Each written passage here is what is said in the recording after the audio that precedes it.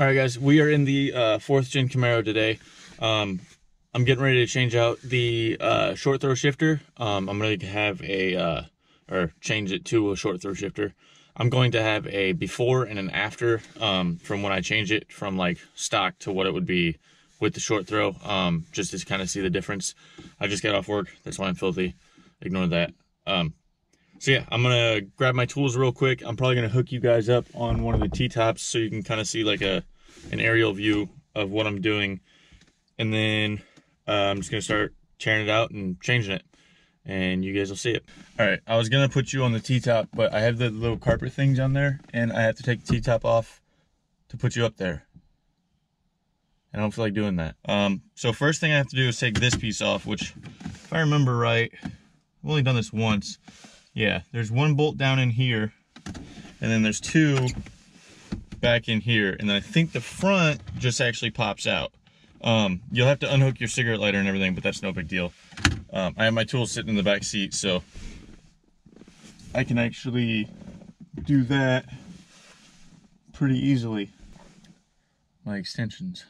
I want to say these are 10s. Uh, we're about to find out though. Okay, so reason number three on why I think that short throw shifter is aftermarket. The bolt to take the center console off is really loose. These two are in here are really small. Uh, this one in here was a 10, by the way. These two back here are really small. I want to say they're actually like a 7. Um, pretty sure if that's what they were. Yeah, that's what it feels like. Again, it's been like probably like two years since I've done this, so sorry if I mess anything up or if I don't remember anything. And then this will probably be the last mod I do on the car um, till I get the, uh, till I save up enough to, to buy the big mod that I'm getting ready to next, which it won't add any power or anything, but I want to get the uh, Holley um, EFI, the um, Terminator X. It's like a whole new ECM and everything, but I want to get like the dashboard kit, so it's kind of expensive. Uh, so that way, once I get that, I can literally do all the other mods I need to do without like getting it tuned every single time. So if I want to do headers, I can just get them, get the headers, and then the uh, EFI will actually do it for me, match the air fuel ratio, so I'm not running a little lean. That should come off now. I really don't care if it breaks because I have the new piece. I just don't want the piece under it to break. Which I bought the black one, not realizing that I had gray interior because I'm an idiot. But uh, yeah, so I might not use it. We'll see. Oh, yeah, there we go.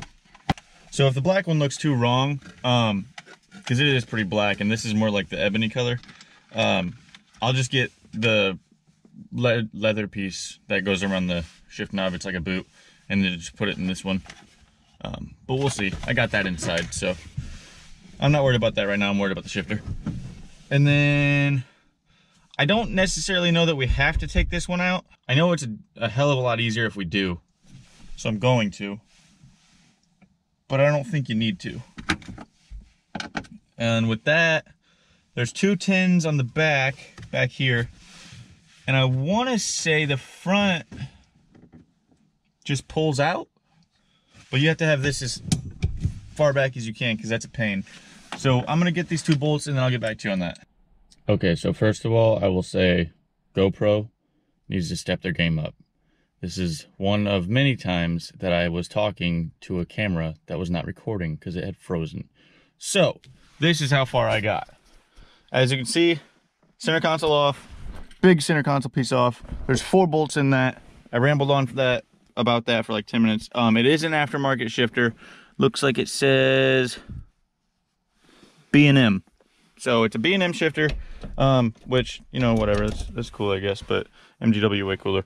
So we're gonna uh, finish doing that, and then I'm gonna I'm gonna show you guys like like how cool it is and stuff. Uh, oh, I also talked about uh, this is old shift knob, um, just came off.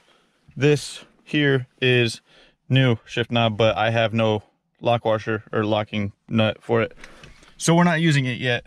Um, but basically what I went over in like a gist, it was such a good video too. Um, basically this has to be like way the frick up there. Um, and then you can kind of just like take the big center console and like move it up and pull it back.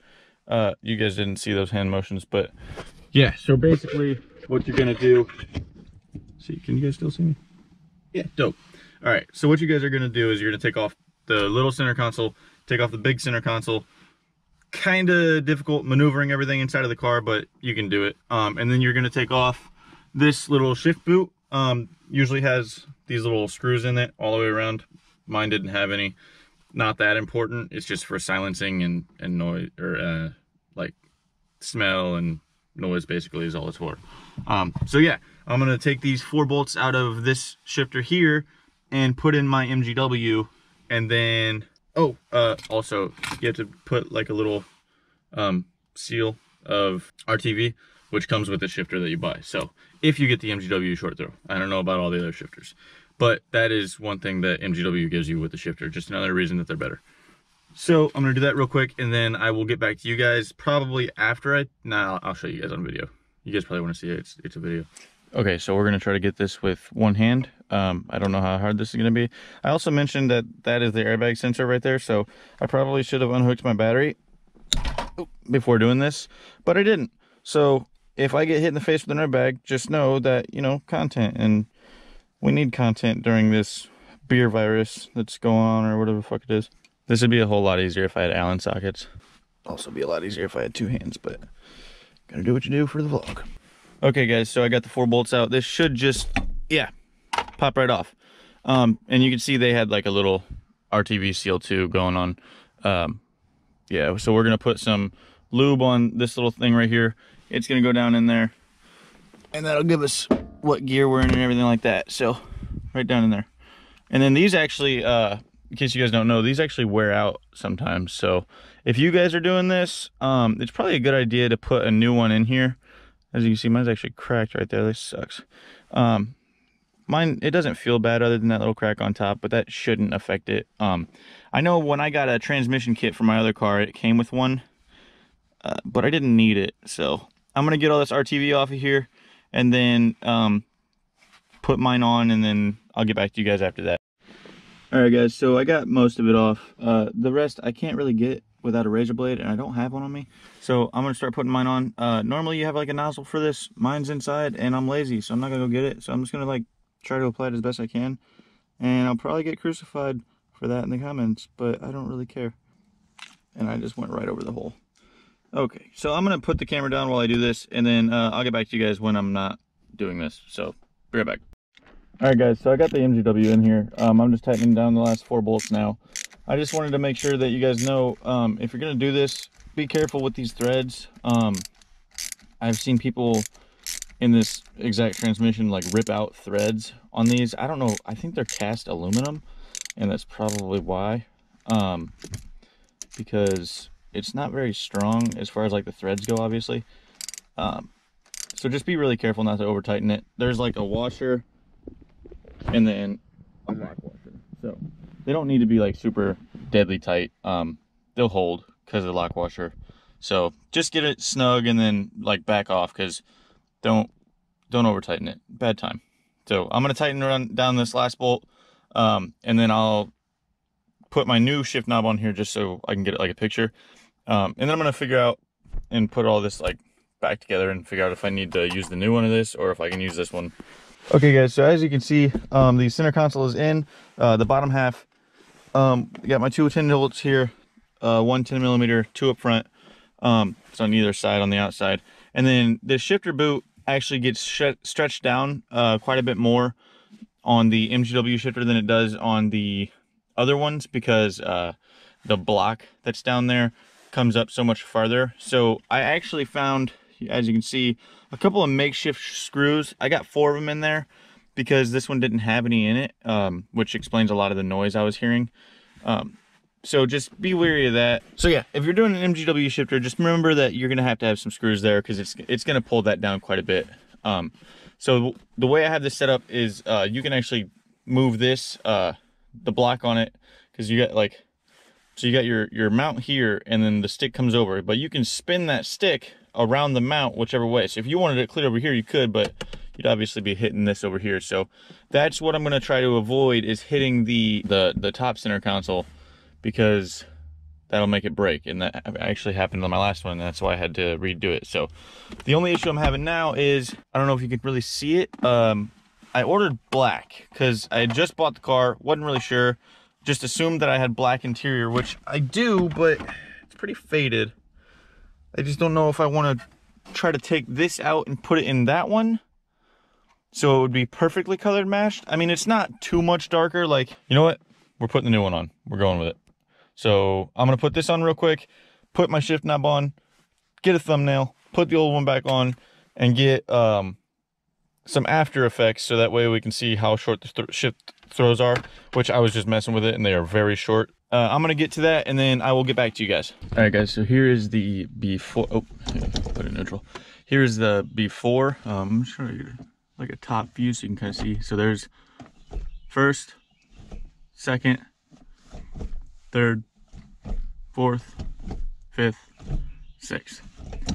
So that's the before that we uh, changed to the MGW uh, short throw. All right, guys, finally got her back done. Uh, so this actually does fit a little different than the other one did. So um, can't use that either. Well, I mean, I could. It just the one through six would be upside down, and you'd be trying to shift gears you don't have. So, um, so basically, what I wanted to do now is show you the after. So there's, see, that's over one, two, three, four, five, six. And one thing I will say that I noticed about this last time I got it, so this here is a lot fir more firm and it's uh, shorter. First gear is, is there. I mean, it's it, it feels like it's not in gear, but it it is. So basically, it makes it way shorter, but it also kind of does make reverse really hard to get to. So if you're not a fan of like notchy like gears like don't don't do a short throw shifter but i personally think that this is way nicer of a feel. Um and then i obviously like with that replaced and everything else like good like the color doesn't mismatch as much as i thought it would. Um so it definitely looks a lot better in here. So that's that's the key. Um this is in thumbnail. This is the the knob that you guys see when you see the video. Um i bought it. I just like i said i don't have the um lock nut for it to go on here, so I can't use it yet. Um, I'm probably to pick that up today, actually, so that'll probably be the end of this video. Um, yeah, that'll be the end of this video, and next video you guys see will probably be me driving this car, because um, I still have to get it insured. I have the plates, and it's like registered and everything, I just haven't started the insurance on it, so I'm gonna do that and then you guys will probably see me driving it. I might check the transmission fluid. It, it feels a little dry. So I'll do that and off video and everything and then uh, yeah, you guys will see me driving it next. So until then, um, I'm not really sure when I'll have next content out. It's raining really like a lot. It snowed actually today. Um, there's that beer virus that everybody's freaking out about. So I don't really know when I'll have a good chance to do like a lot of like good videos, but next sunny day, I'm gonna have this car out. I mean, there's no getting around that and I'm probably gonna wash it and everything. So um, till then, I'll see you guys later.